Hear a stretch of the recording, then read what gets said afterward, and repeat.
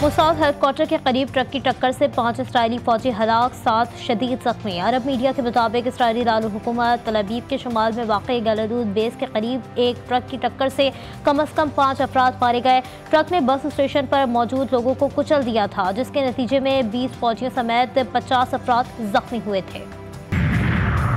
Federal board of revenue का restaurants और retailers की जाली रसीद की रिपोर्ट करने पर इनाम का ऐलान। एफबीआर के मुताबिक टैक्स आसान मोबाइल ऐप पर रेस्टोरेंट्स और रिटेलर्स की रसीद की क्यू आर कोड से तस्दीक की जा सकती है। जाली रसीद रिपोर्ट करने वालों को बीस हज़ार रुपये इनाम दिया जाएगा।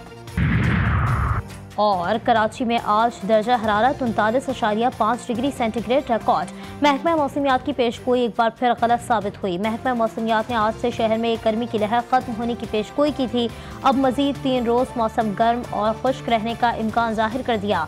इस दौरान शहर का दर्जा हरारत अड़तीस से चालीस डिग्री तक जा सकता है।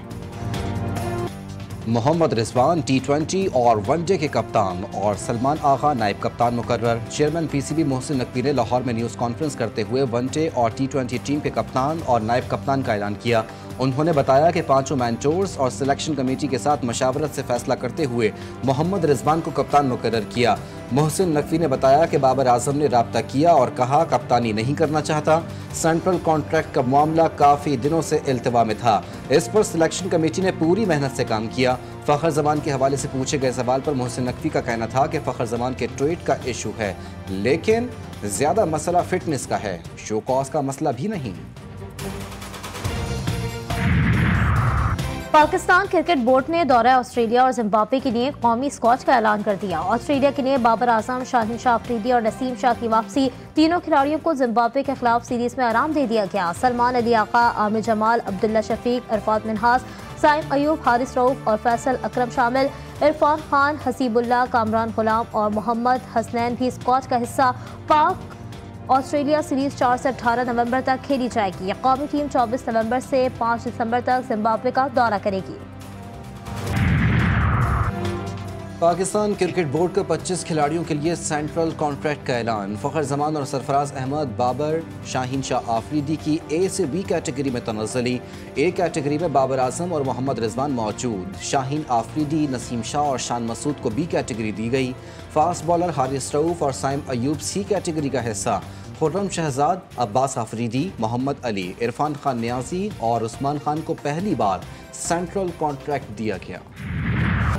इंग्लैंड के खिलाफ कई साल बाद पाकिस्तान की जीत तीन टेस्ट की सीरीज़ शायकीन क्रिकेट के लिए यादगार बन गई, जहाँ नया टैलेंट सामने आया, वहीं उसने नाम भी बनाया। नुमान अली ने दो टेस्ट मैचों में शानदार परफॉर्मेंस दिखाई और 20 विकेटें ली नुमान अली के घर वाले शानदार कामयाबी पर खुशी से निहाल।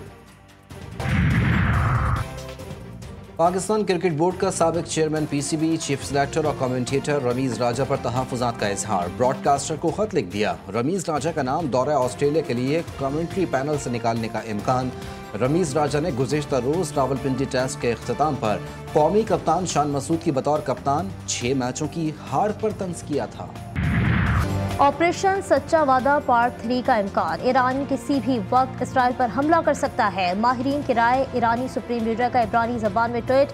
ट्विटर पर बिस्मिल्लाहिर्रहमानिर्रहीम की पोस्ट लगा दी। उधर ईरानी वजारत खारजा ने इसराइली हमले में चार फौजियों की शहादत की तस्दीक कर दी। ईरानी आर्मी चीफ का कहना है कि सहूनी तैयारों ने इराक में अमरीकी फोर्सेज के जेर इस्तेमाल, फ़जाई हदूद को इस्तेमाल किया और दूर मार छोटे मिज़ाइल फायर किए। अकवा मुतहदा ईरान पर इसराइली हमले की मजम्मत करे और इस मसले पर सलामती कौंसिल का हंगामी इजलास बुलाए। ईरानी वज़ीर खारजा अब्बास इराकची ने अकवा मुतहदा के सेक्रेटरी जनरल को खत लिख दिया। अब्बास इराकची ने ईरान पर इसराइली हमले को दहशत गर्दाना कार्रवाई करार दिया। कहा कि हमला बैन अवी कवानीन और अकवा मुतहदा के मुसवदे की खिलाफ वर्जी है। ईरान पर हमला गजा और लबनान में जारी जंगबंदी से अलग नहीं और ईरान से होनी फौज की जालिमाना कार्रवाई का जवाब देने का मुकम्मल हक रखता है। अकवा मुतहदा की सलामती कौंसिल ने ईरान की दरख्वास्त कबूल करते हुए कल इजलास तलब कर लिया। अकवा मुतहदा के ईरानी दरख्वास्त कबूल किए जाने पर इसराइल बिलबिला उठा। सलामती कौंसिल में इसराइली सफीर ने ईरान की दरख्वास्त को इसराइल पर सियासी मैदान में हमला करार दे दिया। इसराइली हमलों में ईरान की जौहरी तनसीबात मुतासर नहीं हुई। D G I A E A Rafael Grossi का कहना है कि जौहरी और दीगर ताबकारी मवाद की सलामती को खतरे में डालने से गुरेज किया जाए। इसराइली मीडिया ईरान में नुकसान दिखाने के लिए झूठ की हर हद पार कर गया।